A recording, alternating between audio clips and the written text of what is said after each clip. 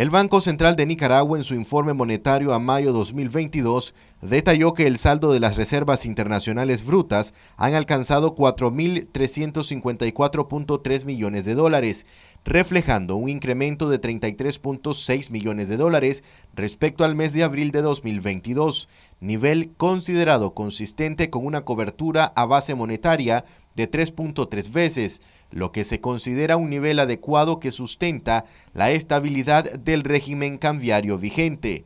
Al respecto, el economista Michael Marenco explica que esta estabilidad en las reservas es una garantía para la atracción de cooperación e inversión extranjera directa hacia nuestro país.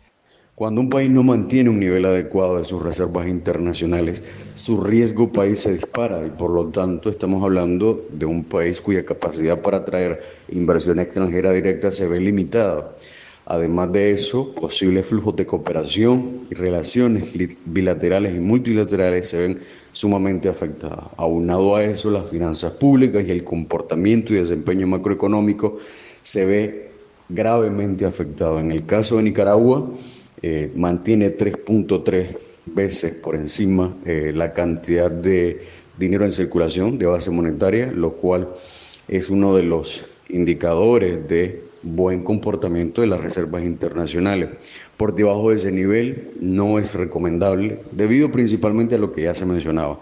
Eso generaría irregularidades en el desempeño macroeconómico y, por supuesto, eh, dispararía el riesgo país, lo cual a su vez afectaría la capacidad para hacer negocios del país, atraer inversión extranjera directa y tener un desempeño macroeconómico óptimo.